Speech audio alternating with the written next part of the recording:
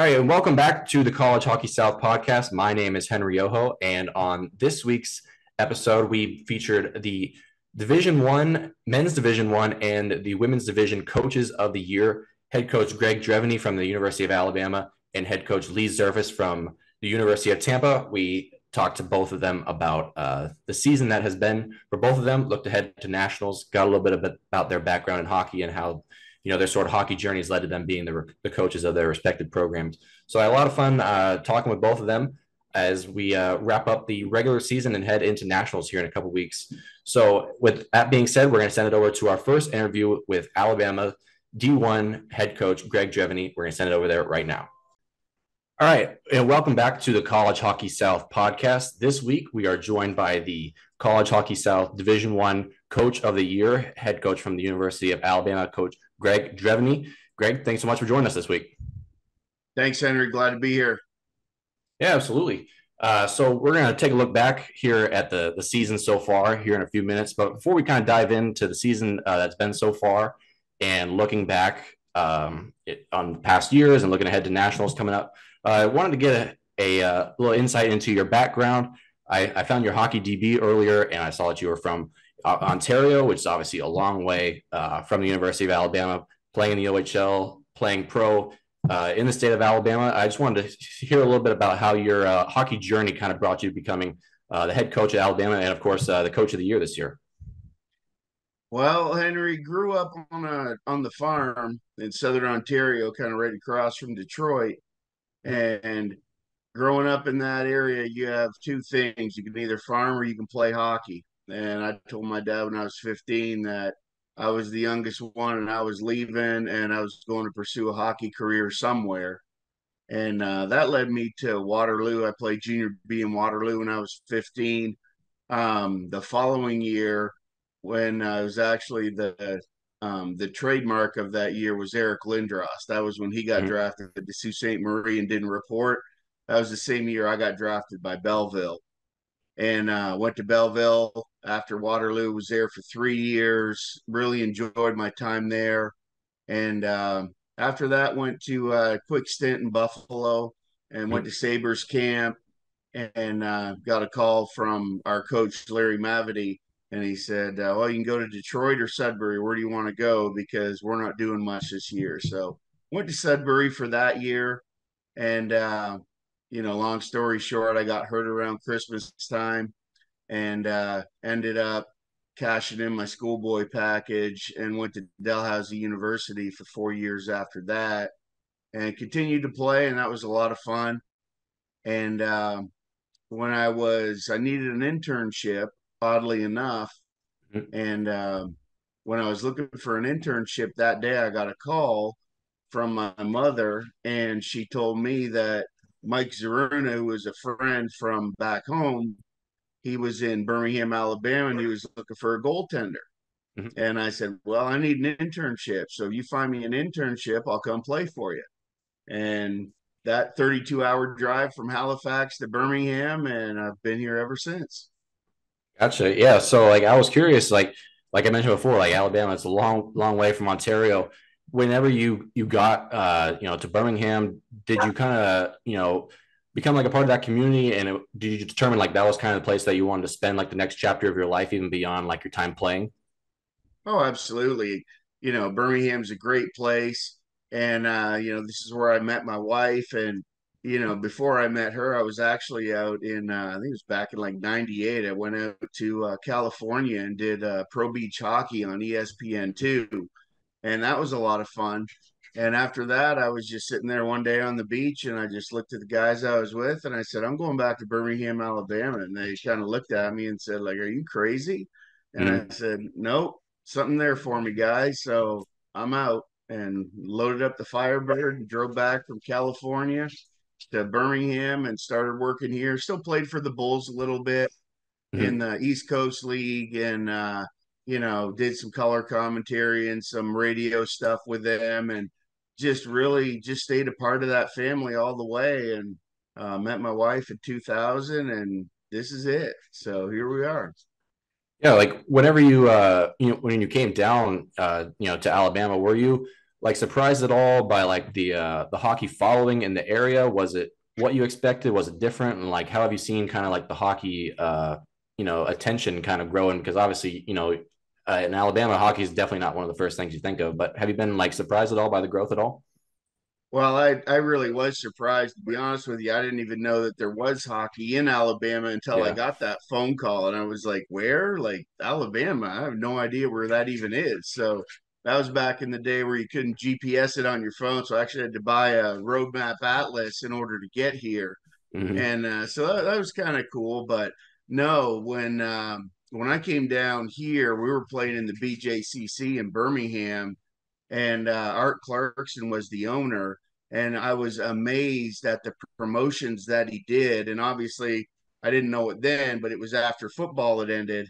And um, he brought in the Dallas Cowgirl cheerleaders one game, and the next game he had NASCAR, and we had 15 and 17,000 people there for an East Coast League hockey game. And, you know, I, I thought I had died and gone to heaven. Mm-hmm.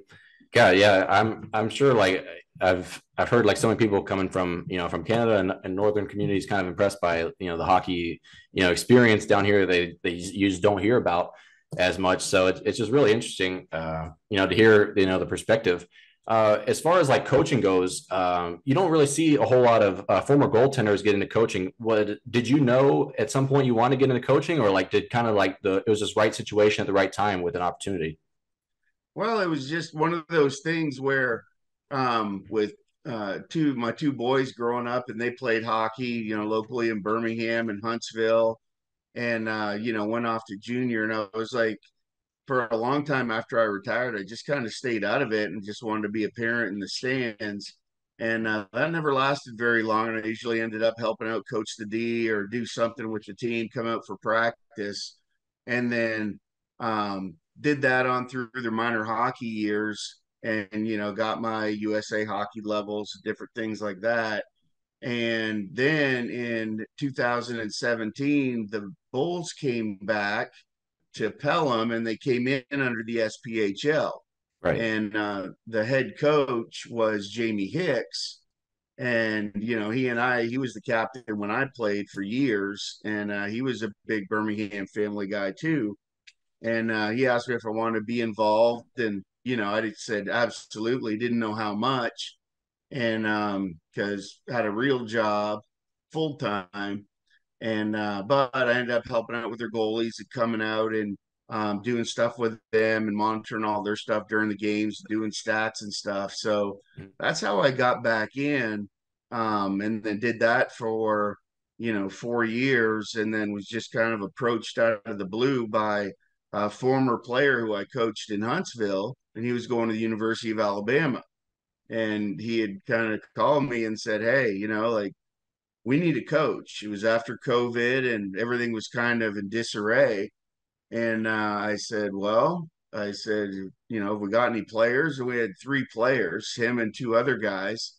And uh, I said, Well, here's the deal. I said, if uh, you know, I've heard I've heard some stuff about you know, coaches and expectations and stuff. You know how I am, and I'm old school. So if you're looking for a coach that you want to go out on the road and drink and party with, then you know I'm not your guy. But if you want to put a program together and you know be a professional deal and you want to try and win some hockey games, I said absolutely. So that's how it all started, and uh, so we went from three to our first training camp and lo and behold it's the university of alabama and there was 120 kids there to choose from so that's where we started three years ago yeah no i was gonna i was gonna mention like kind of the growth like of hockey uh, on campus at alabama uh, probably one of the biggest uh, overall programs with with multiple teams across multiple levels uh, obviously this was the first year of having a division one within aau college hockey I was curious, kind of like uh, how you would assess like how the season kind of went uh, compared to like the expectations that you guys had, um, obviously, like the competition is a little different. You see a lot of the same opponents as the past. I was curious, like, what was what was your sort of assessment on how uh, this season went with went for you guys? Well, I think it went really well, and you know, you never you never really know what to expect in kind of a pilot season. Mm-hmm. But uh, you know, the AAU did a great job. CHS did a great job organizing everything and uh, and getting it set up. And I think the biggest difference from you know, last year or even, you know, prior years and stuff is there were um, a few more of those games that you really didn't have to show up and, you know, you could go out there and win by five or six goals. Yeah. And I think that's the biggest thing that I saw this year moving into D1 because we intentionally scheduled, um, you know, more higher caliber teams and, you know, Georgia, South Carolina, Tampa, Auburn. And, um, you know, we loaded up our schedule pretty good. And it was different for the guys because they were used to going, you know, 22 and three. And, you know, when, when we're pushing, uh, you know, a lot better schedule and you're having big competition every night, you then it starts to uh, kind of fall down to that level of, okay, what are your guys doing outside of hockey and which team are you going to have on any given night because guys have school guys have other commitments and stuff like that so that was probably our biggest learning curve this year was just um, coming out and being consistent every night regardless of who you played yeah, and that's what I was gonna say. Like the uh, like one of the biggest takeaways for me, like on this first year of Division One, was like being impressed by like the competition level. Like everybody was kind of beating everybody like you guys are like one of the first teams in multiple years that have gone uh, into Clearwater Ice Arena and actually beaten Tampa at their rink. And it's been a few years since that's happened, and that's been really uh, impressive for sure. And I was curious about like uh, what's sort of like the the mentality for a program like Alabama, like you mentioned, so many uh, kids within your program, so many kids like want to be a part of it. When you guys have multiple teams across multiple levels, like what's kind of the mindset of the staff and the coaches? Um, are you guys like kind of working together as a whole across all the different levels? Are you trying to like develop players to move up to the next level? Like I was curious, like what it's like with a with a big program like that. We've got so many different teams. Well, and that's exactly how how we we wanted to set it up, and we're slowly getting there. And it was, um, you know, the same thing for the D three team with their first pilot year, and then mm-hmm. um, it was really cool when the girls team came on after Christmas, and so they got a taste of what you know CHS and AAU is all about, and I mean they had a blast. And that, oddly enough, that girls team, well, women's team coming in, really did a lot for the program because it was like there was guys from all the different teams and coaches and everybody chipped in to help them out and hey you need pucks you need this they were going on the ice and and working with him in some of those uh, initial practices and stuff. So it was, uh, you know, really a cool thing to see happen. And honestly, I think that was probably the biggest thing that happened this year that really brought that unity amongst all the teams together. Mm-hmm. Yeah, and I was just curious, like, uh, what's like a week week like for you guys, like with with practices and games and everything? Like, one thing I'm always interested with, uh, you know, all these programs in the South you know the smaller college towns you don't necessarily have you know the rinks in your in your college towns i know you guys play in pelham i know it's like about an hour or so away from tuscaloosa roughly uh, what's it kind of like whenever uh, you know a week for you guys whenever you know you don't have the rink in your hometown and you got to travel and you got to put so much time and effort into just like being able to make it happen in the first place well and that, that was a conversation that um, we had at the start of the year with the the president and the officers and stuff. It's like, hey, you know, like we're going into D one. Um, you know, how are we gonna compete? And you saw in previous years going to nationals, you know, the, the biggest thing is keeping your legs under you because yep. you know what what other tournament do you go into that you're playing five games in five days type stuff if you can go all the way. So you have to have a deep roster and um, you have to have that conditioning going. And with the travel being a factor is one of those things that we decided this year to go, you know, we, we skate one time a week on Wednesday nights and it's, we went for an hour and a half instead of an hour.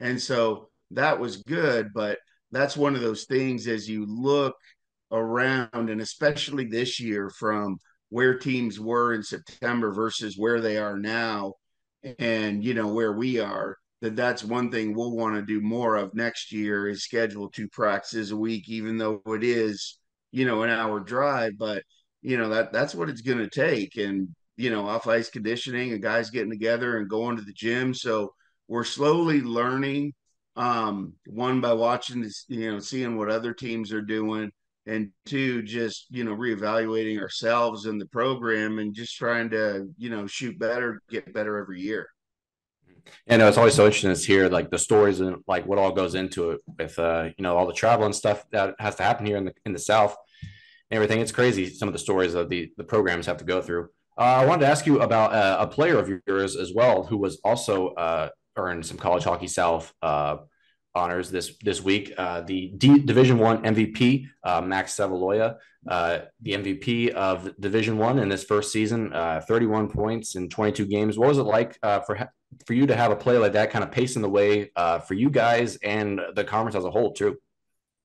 Well, I mean that that was the thing going all the way back to that first training camp.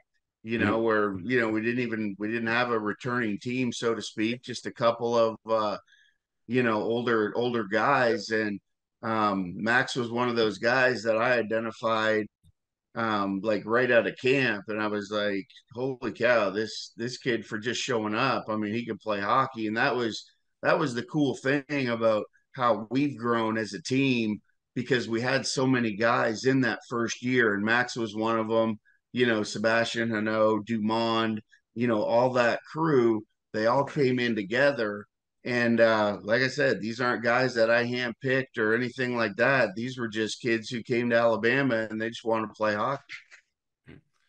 So looking ahead, uh, we got uh, nationals coming up in a few weeks. Uh, before I talk about uh, this next year's uh, trip to Philadelphia, I have to ask you about last year. I know that you guys had a really crazy circumstance up there with your group at nationals, um, where you had the funny circumstance with with South Carolina, Liberty, and Fordham. Uh, I think there was uh, one or two ties within the group during pool play, and ended up having a forfeit uh, on the last day. You guys ended up having to wait on a uh, on a goal total thing that involved uh, South Carolina and Liberty. I think Liberty had to score like two goals or something. I remember it was crazy. Like you got your guys were all rooting for for Liberty in the game. It was just a wild circumstance. What was it kind of like going through that?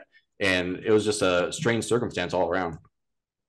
Well, it was it was it was just bizarre to be honest with you because who whoever heard of a tournament or like looking at the way it's set up kind of reminds me a lot of the Olympics with the pool play and right. you know getting out of your pool and going on from there and to have you know the first two games of the pool play and both teams tied mm-hmm. you know I mean that that's just unheard of and um we're like okay well we'll see what happens next game in the next game you know uh, us and South Carolina, we both won, and it's the same thing. We're like, oh, okay, so now what?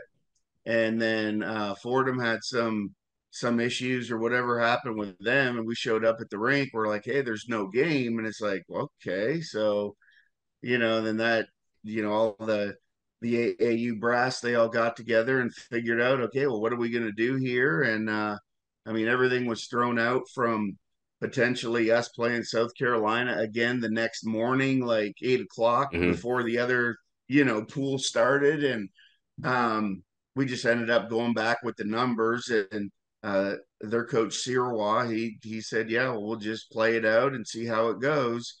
And I said, Okay. So it is what it is. And and you know, I just said that it's unfortunate no matter what the outcome of this is and who goes on because the bottom line is there's going to be seniors from somebody's team going home and leaving nationals and they never lost a game so i mean it was crazy but you know liberty came in and uh, oddly enough some of our guys knew some of the guys from liberty so they were talking to him the day of and they're playing south carolina and they were like well hey why don't you guys come out and you know support us and we were like, okay, so we just passed it out to some of the guys. Well, lo and behold, the whole team showed up to get on the bus.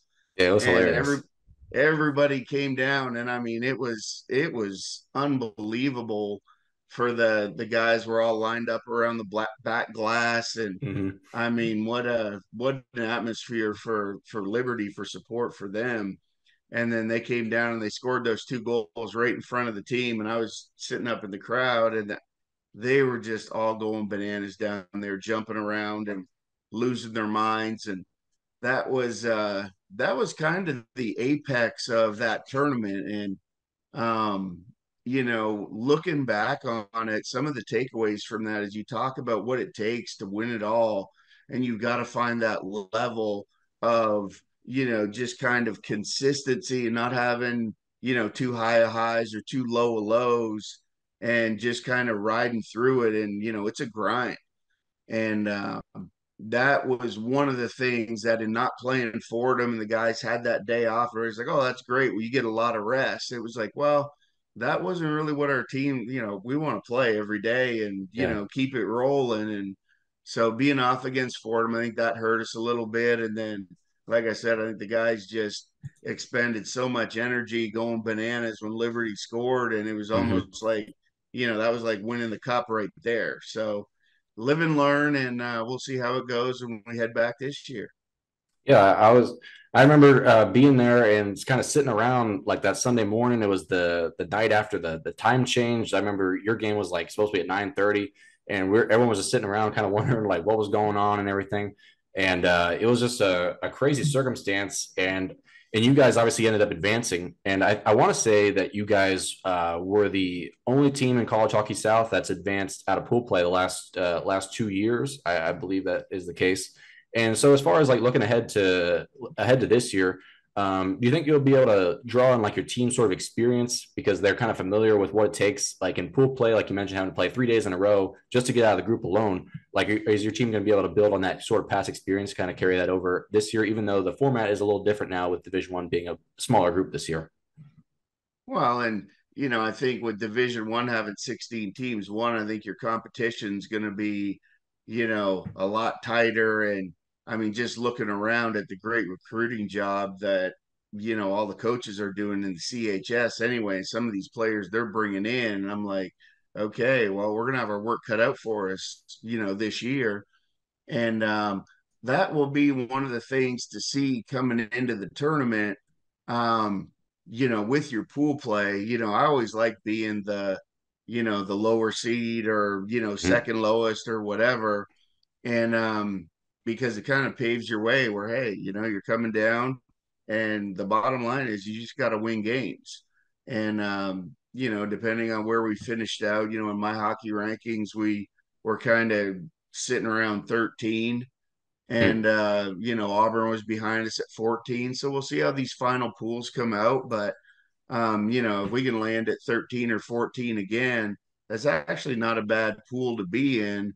Um, because you would have like four, five, nine, and 13.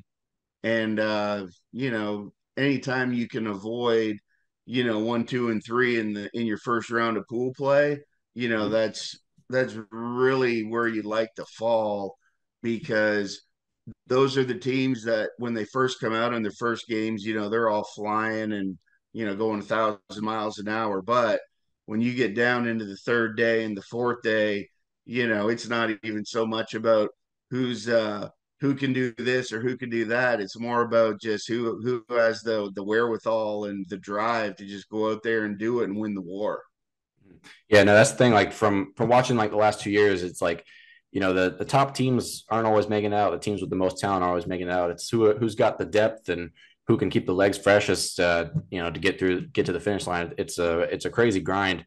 Uh, one last question that I had for you um, is about uh, what can hockey become like at the University of Alabama? You see like these programs within the SEC. Um, like I mentioned, not having rinks in their hometown, but the programs are still growing. Like you see, uh, University of Georgia is getting their own rink built. Uh, you know, there in Athens. Uh, where do you think like things can become like with SEC hockey? Do you think there's a, a world within the next 10, 15 years, you know, maybe where these programs uh, with these huge followings could become potentially varsity level NCAA programs? Do you see a, a world where that's a possibility here in the not too distant future? You know, that's a that's a great question. You know, UAH they had the NCAA D1 yep. team, and um, way back in the day when uh, Alabama was just first starting out, uh, I was working with their goalies, and we went down and actually played UAH. And I think they sat their top two lines and you know played their third or fourth string goalie or whatever, and like we got outshot seventy seven to to ten, and we lost eleven to one. But great experience. But it just goes to show you like that is a you know next tier caliber of hockey player, as evidenced by like Cam Talbot going to Edmonton. Right. He was their mm-hmm. like last goalie who came through, and kid's unreal. Um, but you know what? I think it all starts. You know, can everybody get there in the SEC? It, it's going to have to be done the way that George is doing it. Mm-hmm. And uh, you know, for me, there's a you know a build a rink foundation that's going now, and you know they're starting to get some interest with uh, uh, the women's team coming in, so maybe they can uh, you know revisit that. But in order for for any school in the SEC to be competitive, they've got to have a rink close enough that you yep. can practice multiple times a week. And uh, that's really where your development comes from. Is just really the availability of ice. Mm-hmm. Yeah, no, that's the biggest thing. I I've started thinking about it as a possibility recently with with Georgia getting that getting that rink, and I was you know just curious if uh, you know if that point could come for these other small these other uh, programs because the programs uh, you know the athletic departments at these schools like Alabama and Georgia and Tennessee these have they have these massive followings and stuff. And I, I, I think that you know at some point like I, I think you know it's not going to happen overnight you know in the next 10 15 years or something like that. I, I do think that there there truly is like some potential for that to happen down the road.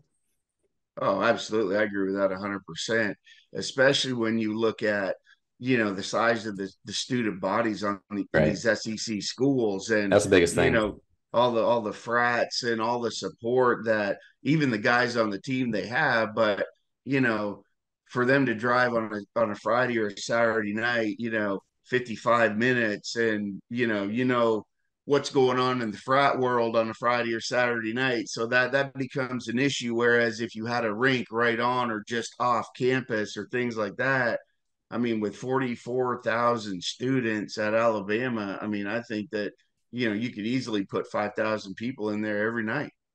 Yeah, yeah, absolutely. It's going to be uh, fun to watch and see where uh, things go from here. So it's been a lot of fun watching uh, your program grow over the years.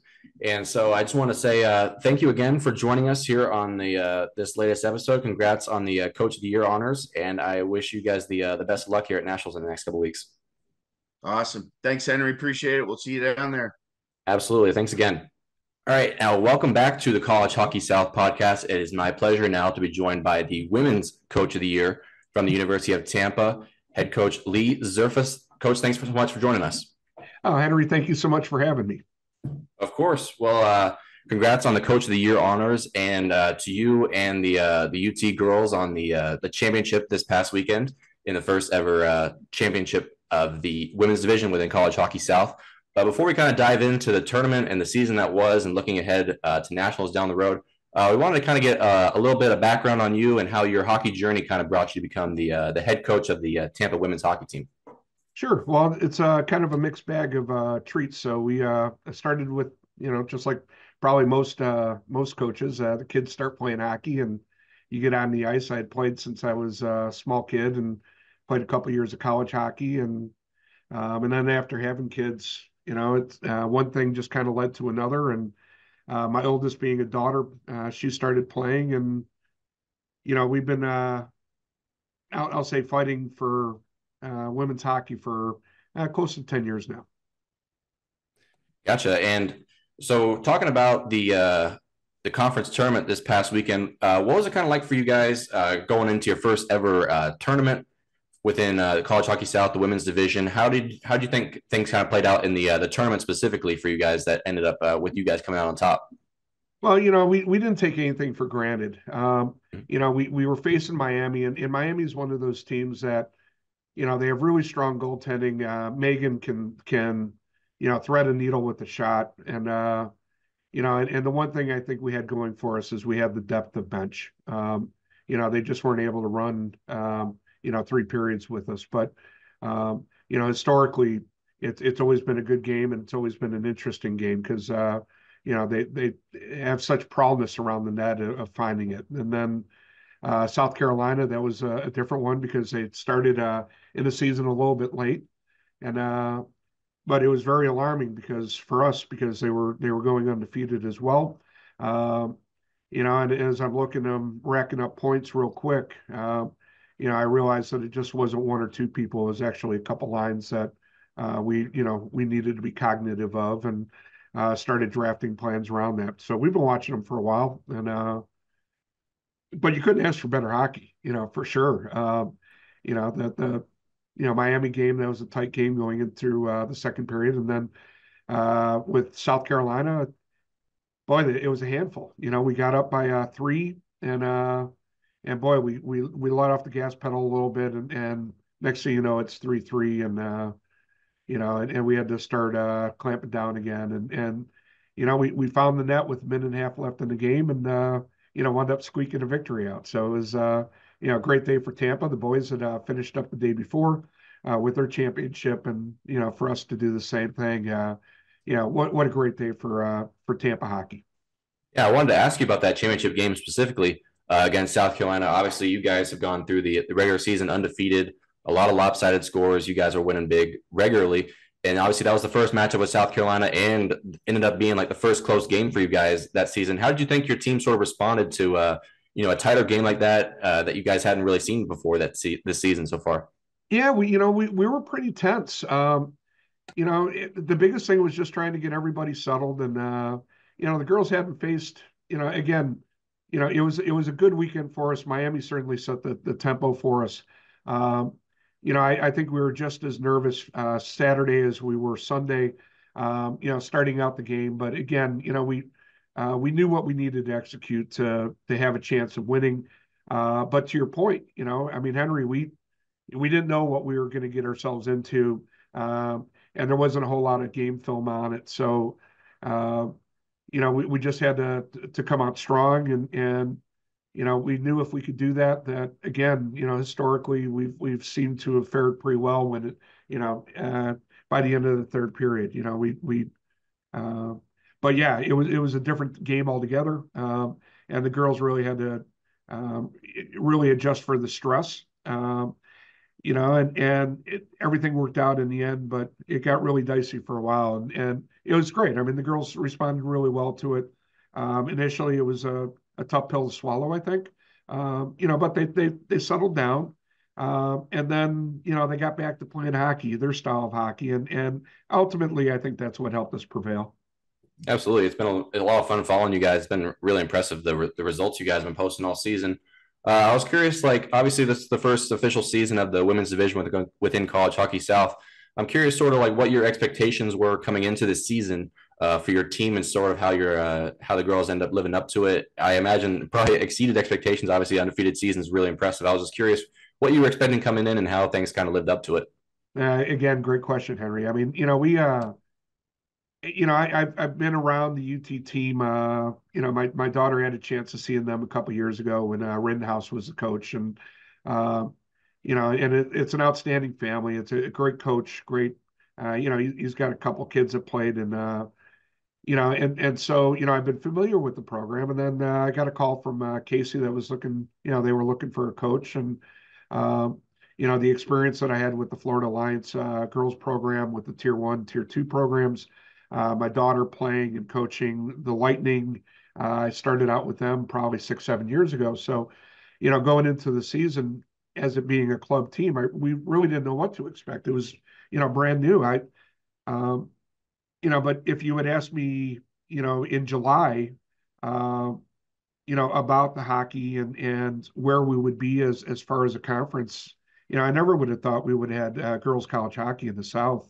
Um, and and then to see the compete level the way that the season ended, uh, it, it's really exciting stuff. I mean, you know, the reality is is that I think it's like 23 out of 24 girls stop playing hockey at the age of 18. Uh, there's nowhere to go, you know, and, and working with the Alliance 19 Tier Two program. Uh, when you don't make that cut for tier one, it's it's pretty devastating. You know, you, you've played most of your life. It's been, you know, uh, a high level of competition. The compete level is there, you know, and, and then you're sitting there and, and all of a sudden it's it's kind of the reality of that it's coming to an end. Uh, you know, hits you pretty hard in in for Beantown, you know, which is you know typically for youth hockey that's that's where the season starts for a lot of the tier one, tier two programs. So, um, you know, to to go into the season not knowing what we had, but excited there was something you know, last year I think we had nine girls in the program. Uh, this year we had 23. So uh, we had a goalie drop out at the last minute. So you know, three weeks into the season, you know, we didn't even know what was going to happen. Uh, you know, and, and, Casey was able to find a, a, a, girl on the program that had played goalie uh, years ago, meaning you know when she was younger. um, and thank heavens for that. You know, it's it's what got us our start.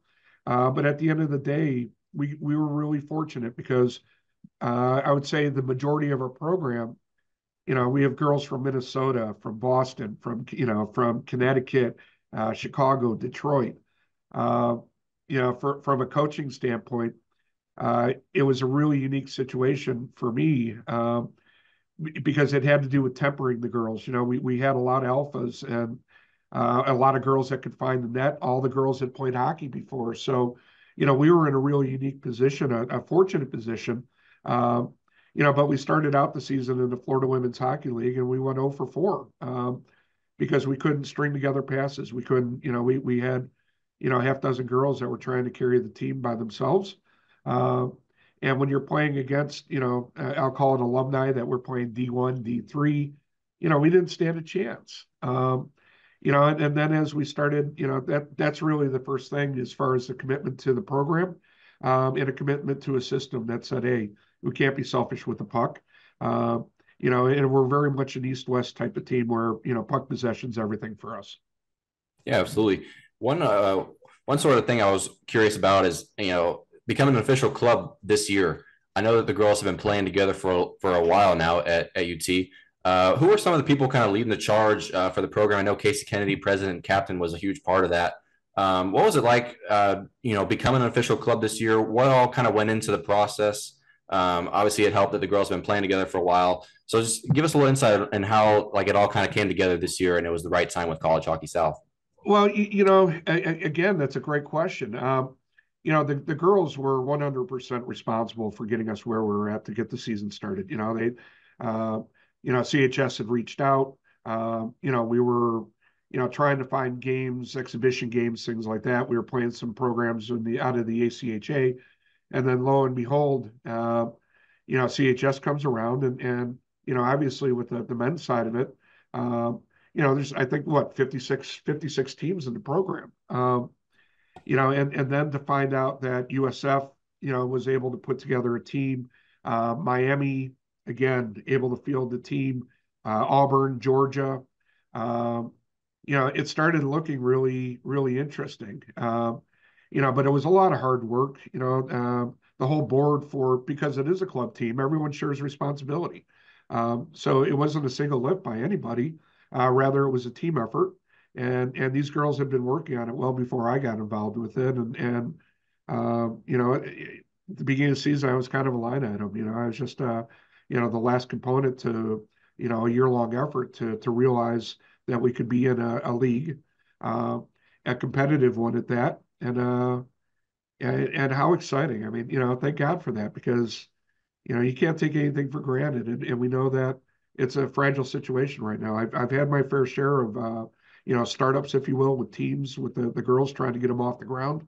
Uh, you know, and, and back then, I mean, when the alliance started six years ago, I think we had 25 girls that tried out for two teams. You know, and now we've got 170 girls in the program. So, you know, and that's over what six years. Um, so you see the rate that it's growing, and it's really interesting because a lot of the girls that are down here right now are trying to get up north to play and and I find what's really interesting is all the girls from you know uh, in the colder states, if you will, are very interested in coming to Florida for some sunshine and and you know and obviously the the education from UT is is first and foremost. That's you know that's the one rule that we have is is education's first. There is no excuse for that. Um, you know, so we believe in development as much off the ice as we do on the ice, and and school comes first. So if you got a cram for an exam and it means missing practice, then you know that's what we do. And if I got half a team that can't make it, then we scrub the practice and you know reschedule. But uh, you know, for the girls to pull this off and, and do what they did, uh, hats off to them. I mean, what a great learning experience, and and what a way to get yourself started and and you know some life skills. And and that's what we've. You know, I, I joked with the girls I could probably help them more with you know off the ice stuff than I could on the ice. Uh, and it's really come full circle for us. You know, we're we're we're close. We're we're together. Uh, we have our ups and downs, but at the end of the day, uh, it's the culture and the character of the team. Um, we wouldn't be able to do what we've done without that. Yeah, you mentioned like how so much of the uh, the team is representative of, of girls coming from up north. That's really representative of UT as well. Uh, having all these girls who've played hockey before and have been playing together, what was that kind of like as a coach with these girls having the experience level that they do, especially compared to a lot of the other women's division? Other programs had girls who were playing for the first time, which is awesome. But what was it like for you having such an experienced group of, of girls who who had played together and had you know such long experiences in hockey previously? Henry, it's the toughest coaching job I've ever had. Um, you know, it, it, it what a unique set of problems. You know, we we um, you know, all, all the teams are stewards. You know, it's like with the the coach of the year award. I had a lot of the teams saying congratulations, and um, you know, and, and I had to stop them. I mean, I'm, I'm humbled, and and the humility that goes along with that is is, you know, I'm still trying to absorb it um, because it's a first year program. You know, um, but it wasn't me. It was. It's always been the girls, and it's always been about the girls. You know, these are young women that, you know, still wanted to play hockey. Um, and to have an education first and, and then to be able to, to suit up, uh, they're grateful to play, you know. And, and so, in answering your question or expanding on it, uh, it, it was really difficult because, you know, how do you how do you let the girls play that are used to playing, um, and at the same time keep things competitive, if you will, to where, you know, we, we coined the phrase early on in the season. It was it was as you know, scoring with class, scoring with dignity. Where, you know, if you're going to put one in the net, make sure that it's something that you could show somebody how to do it. Okay. Um, so it wasn't the breakaways. It wasn't, uh, you know, it, was two, three passes. It was center lines. It was, uh, you know, back doors. It was things that, you know, I, I would like to think that we could all learn from. Um, and and like I said, it was the hardest coaching job I've ever had because we had we we didn't have the problem everyone else had initially, at least. Um, you know, with with South Carolina again, Miami, uh, it it shows that you know we we have room for both. Um, you know, but it was really difficult. I, I, I, you know, every every weekend was a challenge because we we we had respect for our, our competition, and you know, the last thing you want to see happen is, you know, you have a a, a young woman that wants to, to pick up the sport, you know, and we were fighting for that for so many years of, of just getting them involved, you know, uh, um, to say that it's okay to, to give it a whirl. Uh, and to see it in the college level, you know, a lot of the programs, you know, they uh, there are girls, are, a lot of the goalies had never played before. Um, you know, and, and to turn around and, and, and, and, and I think we, the, the biggest thing was being respectful. And again, that goes down to character and the culture is that uh, we understand where it's at uh, we want to be a, a, part of the solution and not part of the problem. We're not interested in trying to run anybody off. I have a very unique problem. Um, you know, and, and, I think again because you know UT is a, a, a private university that um, it caters to you know the schools that were prep schools from up north and things like that, where you know our draw as far as talent goes was was pretty easy. Um, it's not that often that you, you start out the, the season uh, certainly with with not a whole lot of recruiting where you've got 23 and you've got to you know you got to come up with three healthy scratches for a game um, you know things that we weren't prepared for uh, but at the end of the day like i said it, was we've always had uh, an understanding and, and appreciation for uh, the league in general and all the teams that are competing because we're all in it together and and that we we can't allow it to fail it's just that simple yeah. So obviously, like this past weekend, with with you guys winning the women's conference championship, the men's uh, from the University of Tampa also won the Division One. Uh, there were some cool videos of the guys there supporting uh, the team and everything. University of Tampa hockey team has become one of the bigger programs within College Hockey South, with with multiple men's teams and now a women's team. Uh, what's it kind of been like working with uh, the men's team and such a big program all around? What's it kind of been like uh, as an overall hockey program working with uh, with the men's teams as well in the sport they've kind of given you guys as well? Sure. Well, you know, I, you know, you know, I, I think it's safe to say they paved the way for us, right? Um, you know, there's a commitment level from the university that um, you know goes to supporting the sport itself. Uh, you know, the sport, um, in addition to to some financial considerations, meaning uh, the university helping us out financially with uh, getting the team going. Um, you know, and, and with that comes responsibility, obviously. So uh, to have the men's program set the the, the bar for us. Um, the last thing we wanted to do is, uh, you know, field a team that, uh, you know, wouldn't be indicative of, of what the what the university itself represents. Um, you know, and, and, to have both programs now, the the D1, the D2, um, and then the women's. Um, you know, again, it's it's. Uh, uh, it's great to be a part. When they did the bridge, you know, we, you know, four or five years ago, Casey had commented that, uh, you know, there were people within the, the university that thought that, you know, it would be difficult to kind of have the two two teams mesh together um, and to be supportive of each other. And, and you know, to the contrary. Um, and I think everyone was pleasantly surprised by that because, you know, you, you have all these uh, levels of compete. Uh, the men's program, to your point, is uh, you know, it's it's really solid hockey. You know, I would put that up against ACHA. Um, and certainly your your your you know call it your bottom half or your your top 30, you know bottom 30 schools of NCAA D3. Um, they can compete, you know, and, and they come from all over the country to to be a part of this. So um, to have the girls program join it, and and again what uh, College Hockey South and AAU did uh, to to give us a chance uh, you know, we're grateful. Um, but to, to have the men's program cheer us on in the semifinal, um, and then you know to watch them win theirs, uh, you know, it's it's really the ideal world. You know that that's that. I think that says a lot for the type of uh, students that that come into the program uh, that attend the university. You know, it's a uh, maybe a higher expectation, if you will, but uh, they have that compete level, and, and then they have that support. Um, you know, it, it really kind of tempered uh, some of the things that we struggled with for sure. Yeah, absolutely. And you mentioned like you know the growth of the game within you know the university as a whole. Uh, in the Tampa area, the the sports becoming so big.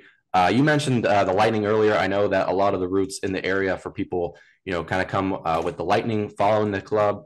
Um, you know, seeing a winning product on the ice for them. What sort of role do you think that the the Lightning organizations kind of had in, in growing the game here in the uh, the Tampa Bay area, and especially with the women's game in particular? So, what, what kind of role do you think that they've kind of played as far as growing the game here in our uh, in our communities specifically? Right. Well, it, has been huge. Um, you know, it, it, started with Kristen Bonus. Uh, you know, her, her father was a coach with the Lightning, and and she's over in Nashville now. And I, uh, you know, during the championships, I actually had a chance to meet with her at the Nashville game, and and you know, we were reflecting on what it was like seven, eight years ago uh, when we started out the, the, the learn to play programs. And, uh, you know, we were no different than some of the college programs back then where, you know, to, to try and field the team, first of all, was, was an undertaking. Um, and thank God we, we had the support of the Lightning and the Lightning Made program, uh, their community outreach and, and, you know, the, the, uh, the Lightning had put a, a, program together that they wanted to get 10,000 sticks in the hands of young kids uh, so that they could learn to, to appreciate the game and want to play. Uh, you know, and then the learn to play programs. It, it's a very cost effective program that go you know runs like eight weeks and includes all your gear. Uh, and you know, it's a great way to to get your feet wet. So uh, they were 100% instrumental, and and you know they certainly catered to you know, I'll call the, you know, the non-tier two and, and, and tier one programs where, you know, the reality is, is that the bulk of the girls sit within the community outreach side of it. Um, you know, and that's why this league is so important because uh, it gives girls an option. You know, you can go for school first, uh, you know, and, then learn to play the sport or, or continue playing. So uh, the Lightning by far were uh, the catalyst of all this. I would argue, uh, you know, because we had you know, I, I mean, we had a 10U, a 12U, a 16U program uh, that we started with uh, in all levels of, you know, participation. Uh, you know, but it certainly didn't cater to like the Lady Vipers, which was uh, the tier one program at the time. Uh, we had Saddlebrook that started a program out of uh, Center Ice, and then the Alliance came in a couple years later. you know, and that was a real nice alignment. So as that we were trying to figure out hockey in Florida, you know, we had that pyramid of you know, of, of starting out and, and, you know, as your skills increase, you, you started getting towards, you know, more of an elite program like the, uh, like the Alliance represents. So, you know, to be able to feed that now into the university programs in the South is huge. You know, a lot of these girls didn't have a place to go, um, and now they do. Um, you know, I think we've got uh, four girls from the Alliance 19 Tier 2 program that want to come play hockey for uh, UT and stay in the state you know, the Florida prepaid, uh, the education part of it. Uh, you know, and, and so again, it, it's just amazing how all this stuff has come together. You mentioned like uh, girls wanting to spend you know the next chapter of their lives at the University of Tampa, continuing their hockey career.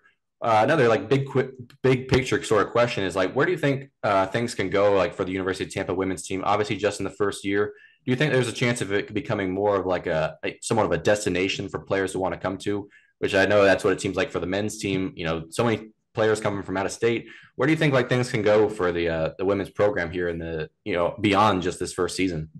Well, you know, I mean, the AAU and CHS has done a really good job promoting the uh, conference and and the spotlight that they put on the championships was uh, was significant. You know, uh, just this week alone, you know, the recruiting part, uh, you know, for me, I think got a little bit easier because, uh, you know, a lot of people found out about our program this weekend. Um, you know, and if you watch the game, um, you know what, this caters to a bunch of people that are looking to play and continue playing.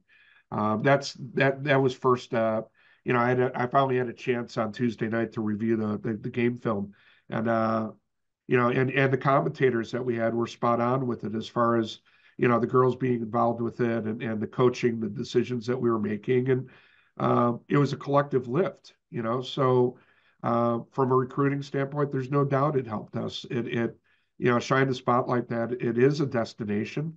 Um, you know, and that we're serious about it. You know, we, we gained Alabama and Georgia Southern for next year. Uh, I'll, I'll tell you, I mean, I never thought in a million years I'd be playing somebody like Auburn, for instance, and you know, to see the Auburn colors out on the ice, or Alabama, or or Georgia colors out on the ice, you get goosebumps, man. You know, I, I uh, it's it's pretty cool, you know, and, and you know to to think that it's hockey related and and you're playing these powerhouses of universities.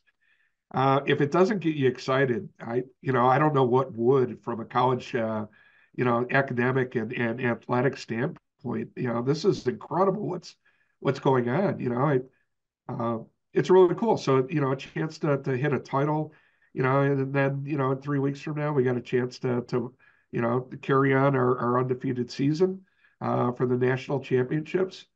You know, these are things even in D1, D3 program that, you know, unless you're the top four, you'll never get to experience some of this stuff. Um, you know, they have the men's team ruin you on. You know, these things just don't happen in other programs. Um, so again, I think it's a testament to the program, you know, to the to the conference and the way that Kyle has put everything together. Um, you know, it's inclusive um, and it's good hockey. So uh, I'm yeah, I mean, I'm really excited for for what the future represents. It's uh, you know, I can see already. I mean, the USF team is busting at the seams. Georgia's busting at the seams. Auburn Alabama. These are all programs that, you know, it wouldn't surprise me in the next two to three years that we don't have two flights, meaning that, you know, we have a D1 and a D2 or a D1, D3 type situation where we can even out the playing field as far as the compete level goes. Uh, and I, am really excited. I mean, I think five years from now, uh, a lot of people are going to be looking back at this and saying, boy, right time, right place, and and right formula. Yeah, no, it's been certainly a lot of fun to watch uh, the growth of the program uh, this year in the women's division as a whole. It's been you know, it's certainly an exciting time. Uh, you mentioned nationals. Uh, last question I have for you is going to be about uh, nationals in a couple weeks. Uh, what's going to sort of be the message for your team going into this? I know that the the bar is going to be set high for you guys, undefeated. you're going to be facing some teams that you haven't seen so far this season. I'm sure you're going to be seeing some conference opponents as well what's going to be kind of the message uh, to your group uh, heading into nationals? Obviously, uh, undefeated season. Uh, what's going to be sort of the the preaching point from a coaching standpoint? You know, again, culture and character. Um, stay humble. You know, we've gotten this far because what our the system that we work by, uh, everyone's bought into it. Um, you know, and, and I think if we fracture that, then we're in serious trouble. Um, if we stay true to to our laurels and and you know what we represent as a program, um, then I think we're going to be able to bring something that you know a team that can compete. Um, but yeah, it's it's, it's worrisome. Uh, you know, I don't take it for granted. I didn't take last weekend for granted. Um, you know, because you know you got a huge bullseye on your on your back, and and you know there's not a team right now, uh, you know, in either conference that wouldn't be interested in taking a swipe at us and, and knocking us off the bar stool, if you will. So, um, yeah, I, am very concerned about it, and and you know, we're going back to our practices. We'll be able to get in, I think, three three practices before we get up there. Um, I'm looking at getting ice uh, the night before we play, uh, so that the girls are, are ready and and you know we can bring the best game possible to to try and represent again our conference and the university. Yeah, absolutely. It's gonna be a lot of fun uh, watching you guys take things uh, onto the national stage. Well, Coach, I can't thank you enough uh, for joining us. Congrats again on the uh, the conference championship and the Coach of the Year honors. I, am uh, looking forward to watching you guys uh, continue the journey this year and beyond. So, thanks again for joining us this week on the on this latest episode. Yeah, George, you know, Henry, thank you so much too. It, it um, you know, we're all in it together. So to to spend the time this morning and and to do the things that you're doing, you know, it doesn't go unnoticed. That's for sure. And and we appreciate everything you're doing. So you know, on, on behalf of the program and the university, we appreciate you. Absolutely, yeah, it's a lot of fun talking about uh, you know so many of the great programs that we have here in uh, here in the Tampa area, and of course across College Hockey South. So it's a lot of fun. So head coach uh, Lee Zerfass, thanks again for joining us uh, this week on this latest episode. All right, cheers. Thanks again. Yep. All right, and we hope that we enjoyed both of those interviews. We want to say thank you as well to Greg Dreveny and Lee Zerfass for joining us on this week's episode. It was a lot of fun chatting with them want to send a thank you as well along to our producer Harrison Smadjevich for producing uh, this episode and all of our episodes here at the College Hockey South podcast. Uh, make sure you like and subscribe right here on the College Hockey South YouTube channel. And while we're at it, I'll just mention the men's Division two playoffs uh, going on this weekend in Huntsville, Alabama, uh, beginning today, Friday, going all the way through the championship game on Sunday. So if you're not able to make it to the rink in Huntsville uh, to see the action there in person, make sure to check it out right here on the College Hockey South YouTube channel. And so thank you for listening to this week's episode. We'll talk to you again next week. Make sure you keep it here on the College Hockey South YouTube channel for the Division Two playoffs coming up this weekend. Thanks again.